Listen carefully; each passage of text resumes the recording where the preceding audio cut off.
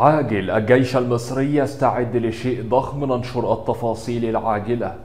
وعاجل مصر تستعد لأخطار تدميرية في المحافظات وتنشر بيان عاجل للمواطنين. وشاهد كيف رد مبروك عطية على إساءة زكريا بطرس ضد النبي. وعاجل تفاصيل قيام سفينة كان الصهيوني في مصر بالتجول بدراجتها في مجمع سكني بالقاهرة وعاجل وخطير اختراق أخطر جهاز أمني في العالم. وعاجل جيش الكيان الصهيوني يقرر تغيير أوامر إطلاق النار بما يشمل عمليات على الحدود مع مصر. في البداية عاوزين نصلي على الحبيب محمد قبل ما نبدأ في تفاصيل الأخبار. اشترك في القناة من زرار الاشتراك الأحمر أسفل الفيديو. ده مهم إن شاء الله عشان تجيلك أهم الأخبار. واضغط على زرار أعجبني أو اللايك عشان توصلك الفيديوهات والأخبار أولا بأول. عاوزين نوصل ليه أكتر من ألف لايك على هذا الفيديو. وقبل ما نبدأ في الأخبار اللي بيحب مصر ووطني فعلا يغرق التعليقات بكلمة تحيا مصر. وانتوا وطنيين وقدها نبدأ مع بعض في تفاصيل أول خبر معانا. وشاهد كيف رد مبروك عطية على إساءة زكريا بطرس للنبي. ما زالت تتوالى ردود الفعل الغاضبة على تصريحات القمص زكريا بطرس المسيء ضد الرسول الكريم. حيث اشتعلت مواقع التواصل الاجتماعي بدعوات لنصرة الرسول صلى الله عليه وسلم والمطالبة بمعاقبة زكريا بطرس.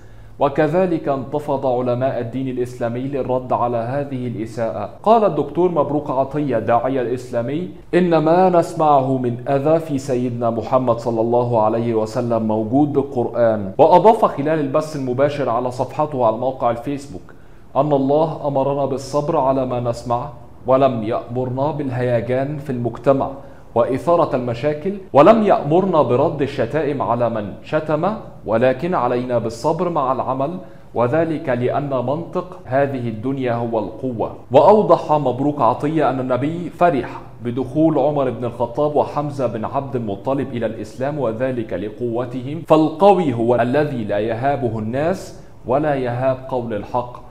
وأضاف أنه على المسلمين الدفاع عن النبي محمد بالصبر مع العمل لأن العمل سيجعلهم يملكون الدنيا فينشروا أخلاق النبي محمد بمعاملتهم مع الناس. وقال أن الشخص البذيء الذي أساء للرسول صلى الله عليه وسلم حقق جزء من غرضه وهو إثارة الفتن في المجتمع وإحداث البلبلة لأنه مستعد للرد وإحداث البلبلة أكثر واستقبال الشتائم لكنه لو صادف أمة عاقلة ولا تثير الفتن لم ولن يحصل على مبتغاه.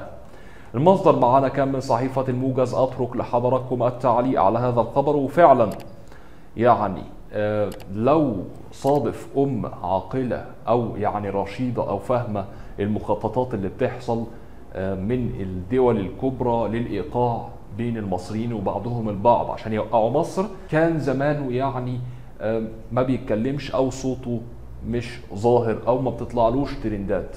أترك لحضراتكم التعليق على هذا الخبر. ننتقل مع بعض الخبر آخر وعاجل. الجيش المصري يستعد لشيء ضخم ونشر الموقع الرسمي لوزارة الدفاع المصرية برومو من معرض إيدكس 2021 الذي يقام في مركز مصر للمعارض الدولية في الفترة من 29 نوفمبر ل 2 ديسمبر. ويضم المعرض عشرات الشركات العالمية المتخصصة في صناعة السلاح حول العالم والتي تجتمع في مكان واحد في قلب القاهرة. ومن المقرر أن يشارك في المعرض هذا العام أكثر من 400 عارض من كبرى الشركات العالمية والمحلية العاملة في مجال الصناعات العسكرية. إلى جانب مشاركة أكثر من 30 ألف زائر من المتخصصين والمهتمين بمجال الصناعة الدفاعية. بينما شارك في النسخة الأولى من المعرض أكثر من 300 شركة من كبرى الشركات المصرية والعالمية العاملة بمجال الصناعات الدفاعية فضلا عن عشرة آلاف زائر.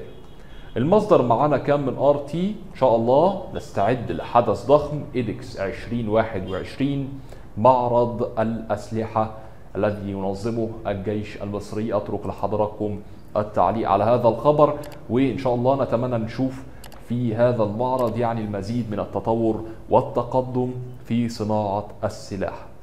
أنا متحمس جدا وأترك لحضراتكم التعليق على هذا الخبر. ننتقل مع بعض الخبر آخر وعاجل مصر تستعد لأخطار تدميرية في المحافظات وننشر بيان عاجل للمواطنين. أعلن المتحدث باسم وزارة الموارد المائية والري في مصر محمد غانم أن مصر تستعد جيدا للأخطار التدميرية للسيول في المحافظات.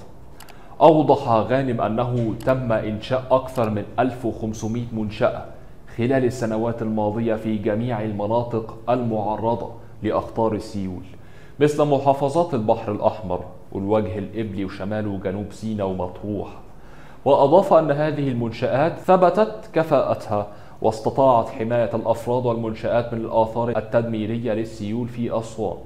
على سبيل المثال إذ تتساقط كمية كبيرة من الأمطار في فترة زمنية قليلة ثم تجتمع وتسقط على شكل سيل مندفع من الجبل بسرعة قد تبلغ 100 كيلو متر ما يجعلها تكتسب قدرة تدميرية عالية. وتابع المتحدث باسم وزارة الموارد المائية والري أن السدود تجمع هذه الكميات في بحيرات صناعية بدلا من النزول في الشوارع وإغراق القرى. ما مكن الدولة المصرية من حماية الأفراد والمنشآت من هذه السيول وتم الحصول على كميات كبيرة من المياه. أشار محمد غانم إلى أنه لا يوجد تنبؤات جوية بحدوث سيول أخرى في محافظة معينة لافتا إلى أنه تم توقع سيول أسوان قبل حدوثها بفترة من خلال النماذج الرياضية والأقمار الصناعية. أكد أن ما حدث في أسوان ظاهرة طبيعية قد تحدث كل عام إذ إن هذا الأمر يعد متوافقا مع طبيعة السيول الومضية. أشار إلى أن الدولة المصرية مستعدة جيدا للسيول كما أن كل أجهزة الوزارة تحرص على المرور دوريا على جميع مخرات السيول للإطمئنان إلى أنها تعمل دون عوائق.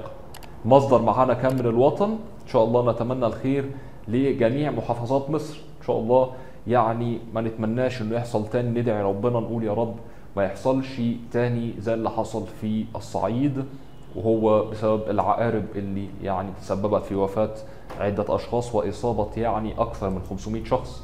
إن شاء الله ما يكونش في كده تاني وندعي ربنا إنه يحفظ أهالينا في جميع أنحاء مصر. ننتقل مع بعض الخبر آخر وعاجل تفاصيل قيام سفينة كان الصهيوني في مصر بالتجول بدراجتها في مجمع سكني بالقاهرة. نشرت سفينة الكيان الصهيوني في مصر أميرة آرون. صورة لها وهي تتجول بدراجتها في مجمع سكني راقي بالعاصمة القاهرة. وأرفقت أورون الصورة المنشورة في حسابها على تويتر بتغريدة قالت فيها شعرت بسعادة كبيرة عندما تجولت اليوم بدراجتي في ساعات الغروب الرائعة. في أحد المجمعات السكنية الجميلة في القاهرة.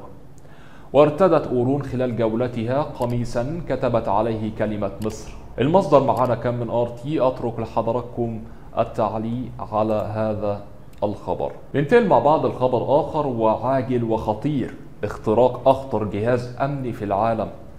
تمكن قراصنة من اختراق نظام البريد الإلكتروني الخارجي لمكتب التحقيقات الفيدرالي الأمريكي FBI وفقا لوكالة بلومبرج أكد مكتب التحقيقات الفيدرالي تقرير مجموعة سبا ماهاوس الأمنية المستقلة الذي أشار إلى أن عددا كبيرا من رسائل البريد الإلكتروني المزيفة أرسلت على دفعتين في وقت مبكر من يوم السبت من موقع إلكتروني تستخدمه وكالات حكومية عدة. وبعض الرسائل الإلكترونية التي وجهت باسم مجموعة الكشف عن التهديدات السيبرانية التابعة لوزارة الأمن الوطني. جاءت بعنوان عاجل عامل تهديد في الأنظمة. وحذرت الرسائل المتلقي من أنهم أهداف لهجوم إلكتروني. معقد تنفذه عصابة ابتزاز معروفة حسب ما قالت بسما هاوس. وقال خبير الأمن السيبراني براين كريبس إنه تلقى أيضا بريدا إلكترونيا مزيفا من عنوان إلكتروني تابع لمكتب التحقيقات الفيدرالي لكن يحتوي رسائل مختلفة. أكد مكتب التحقيقات الفيدرالي ووكالة الأمن السيبراني والبنية التحتية التابعة لوزارة الأمن الوطني حصول الهجوم من دون تقديم تفاصيل. وقال في بيان إن مكتب التحقيقات الفيدرالي والوكالة على علم بالحادث الذي وقع هذا الصباح. وأضاف البيان هذا وضع ما زال مستمر ولا يمكننا تقديم أي معلومات إضافية في الوقت الحالي. نواصل دعوة الجمهور إلى توخي الحذر من المرسلين المجهولين. ونشجعه على الإبلاغ عن أي نشاط مشبوه.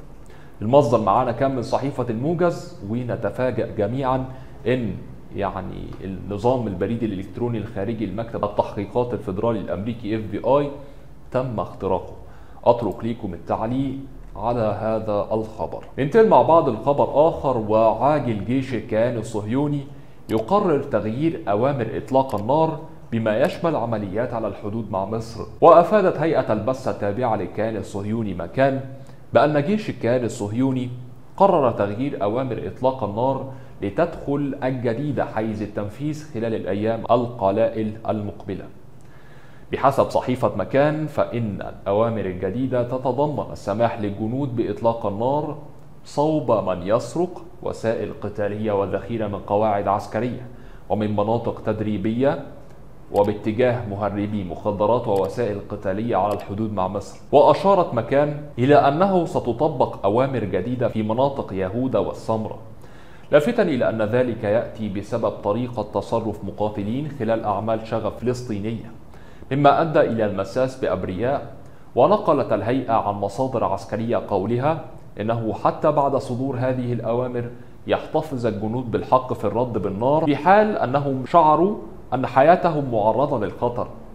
المصدر كان معنا من صحيفة مكان أترك لحضراتكم التعليق على هذا الخبر. وننتقل لخبر أخير معنا؟ وللأسف تفاصيل وفاة إعلامية شهيرة بعد ساعات من نقلها للمستشفى.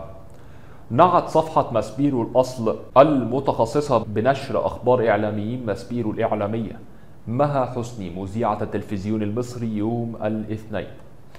وكتبت صفحة ماسبيرو الأصل على موقع التواصل الاجتماعي فيسبوك الإعلامية مها حسني في ذمة الله.